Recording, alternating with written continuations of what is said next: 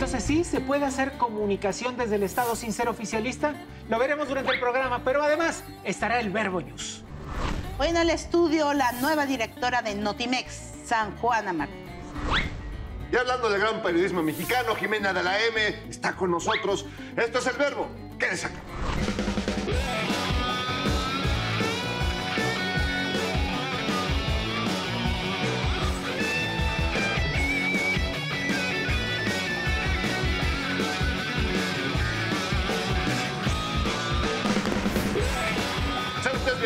Bienvenidos, esto es el verbo, Katia. Buenas noches, hablemos de periodismo hoy. Gabriel. Pues vayamos al verbo news.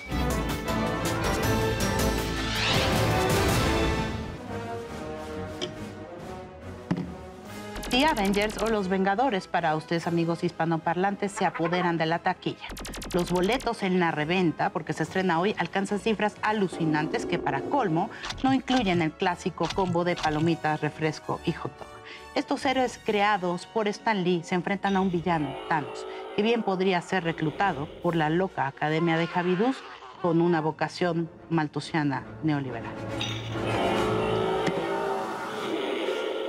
Para millennials y hipsters sería imposible de imaginar que hubo un tiempo en que la televisión era blanco y negro. Hoy que la tecnología ha llegado casi a los 18K y que el color llegó a las pantallas gracias a los esfuerzos de Guillermo González Camarena, un ingeniero y científico mexicano que no ha tenido el reconocimiento que se merece por parte de las grandes compañías que se beneficiaron de su invento ni de la comunidad internacional que goza de sus maravillas. Quizá haya que exigirle una disculpa por este menosprecio a los gringos que se quedaron a la malagueña con el crédito de este asunto. Ni siquiera la representación anual de la Pasión de Cristo ha conseguido que sea más fácil encontrar agua en Mercurio que en Iztapalapa. Y eso que en esta geografía ignota, donde se encuentran muchos de los pozos que surten a la Ciudad de México, pasan más sed que en el desierto de Gobi. Bueno, ni siquiera el superhéroe local, Juanito, ha podido hacer nada para que la gente pueda hacer su Acapulco en la azotea.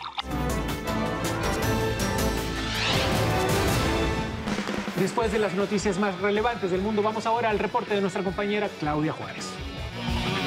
Preocupados por el incremento de las adicciones en México, se han creado campañas masivas, permanentes y preventivas que alerten a la población sobre las afectaciones que éstas generan. Por ello, el gobierno actual no descarta iniciar la discusión sobre la legalización de algunas drogas y aquí les cuento. En el gobierno de la República se estudiará la posibilidad de la legalización de algunas drogas, principalmente de la marihuana para fines recreativos como una estrategia para garantizar la paz. El año pasado se presentó una iniciativa para expedir la Ley General para la Regulación y Control del Cannabis, la cual busca crear un mercado legal bajo regulación del Estado. Dicha iniciativa de ley establece que todo ciudadano podrá aportar hasta 30 gramos de marihuana o una cantidad mayor bajo permiso del Instituto Mexicano de Regulación y Control de la Cannabis. La ley abriría las puertas a la comercialización a través de una licencia expedida por el Estado para el uso farmacéutico, terapéutico, paliativo o herbolario, adulto e industrial. El presidente Andrés Manuel López Obrador anunciará en los próximos días una mega campaña dirigida a los jóvenes del país para la prevención de las adicciones.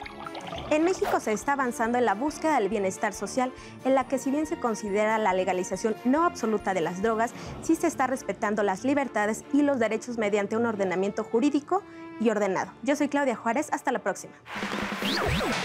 Muchas gracias, Claudia. Ahora vayamos con alguien que no es para nada fifi. Jimena de la M. ¿Qué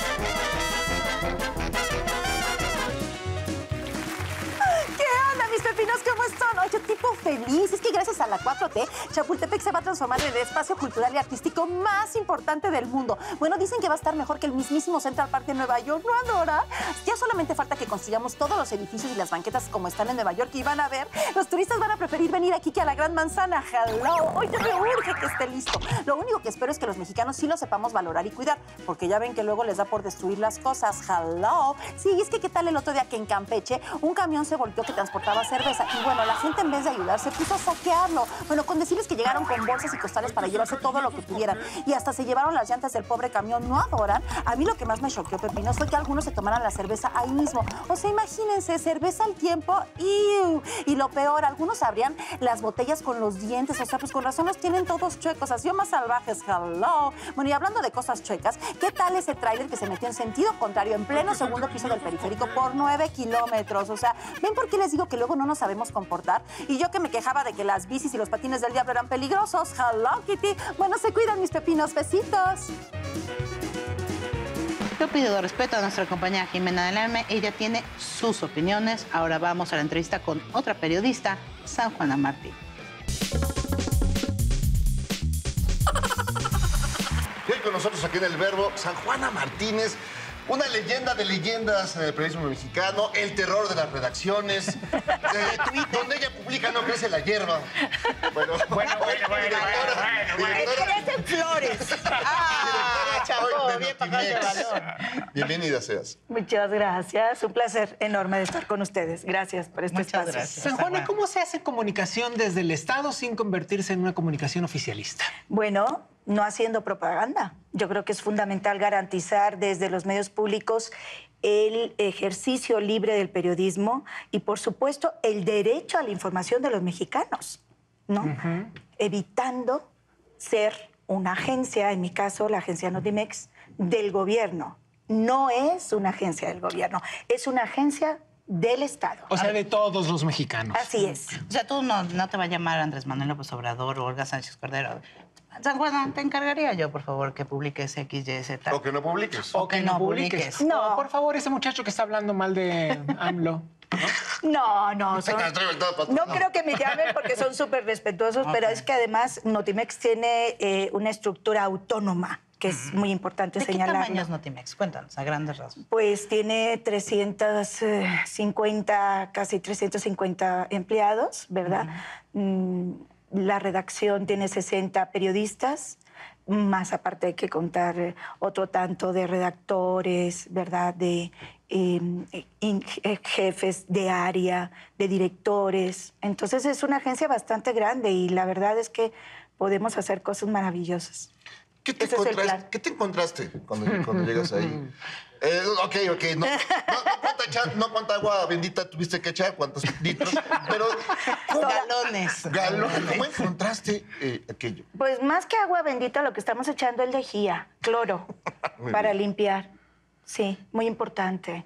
Sí, había, hay unos, una serie de vicios que evidentemente corresponden al antiguo régimen, ¿no? Al anterior régimen, porque esto, como ustedes saben, no es un cambio de gobierno o una continuidad, sino es una transformación, es una nueva forma de, de hacer el servicio público. Entonces, ahí nos estamos encontrando con cosas que no salgo de mi asombro, ¿no? ¿Qué Estupefacción total. ¿Qué Algo así que cosas? te Di. dejado. Bueno, pues elementos que, que por supuesto, eh, embonan totalmente con el tema de la corrupción, ¿verdad? ¿Y lo vas a denunciar? Ya está, sí, Sí, está en proceso. así es. No vamos a tolerar una mínima acción de, de corrupción.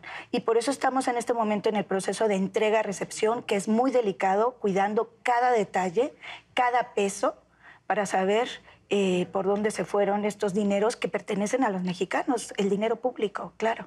Y hay que cuidarlo y saber realmente eh, cómo se manejó aquello y pues eh, empezar a tener la concepción de una verdadera transformación, ¿no?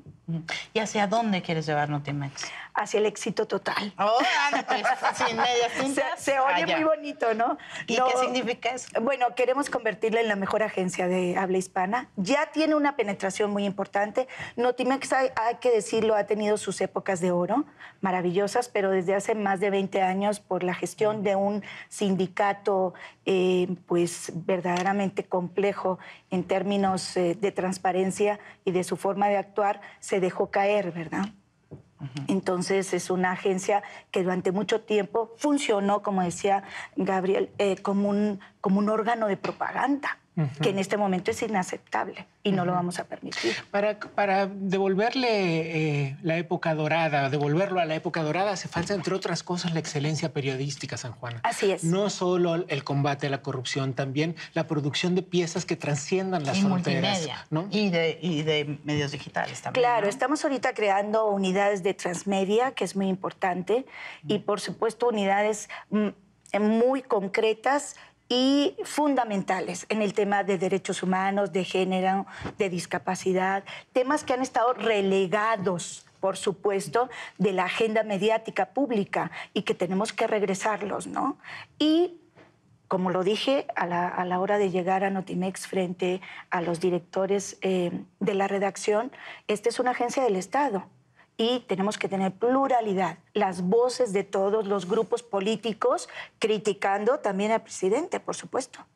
Sí, porque eso es lo que, digamos, el- el- la, la oposición, la llamada así, pues es, es muy eh, beligerante, es- actúa constantemente y, bueno, está exigiendo que, esa, que eso que están diciendo, esa crítica, ese señalamiento, aparezca, aparezca en todos lados y sobre todo en una agencia. Claro, eh, nosotros tenemos una semana eh, de haber llegado, pero eh, ya me llaman los colegas y me dicen, bueno, se nota.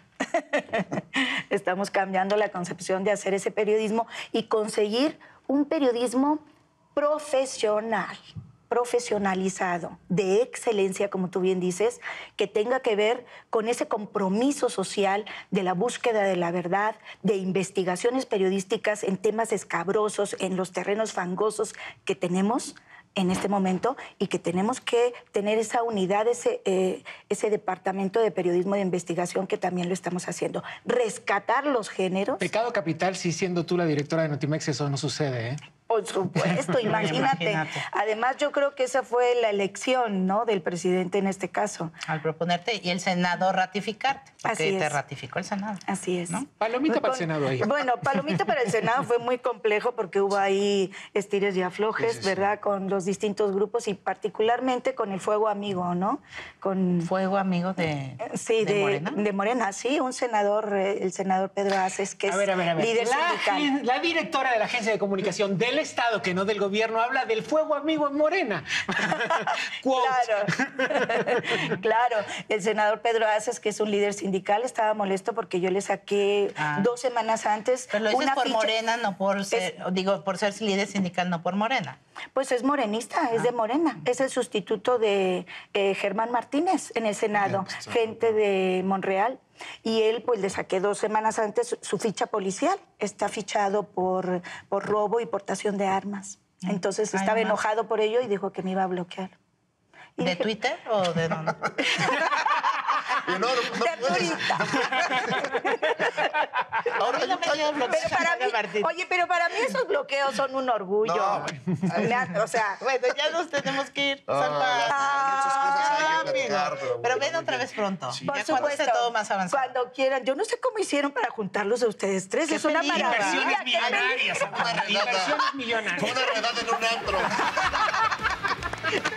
Muchas gracias, San Juan. Este Gracias fue a ustedes. El Verbo. Chao. Hasta la próxima semana.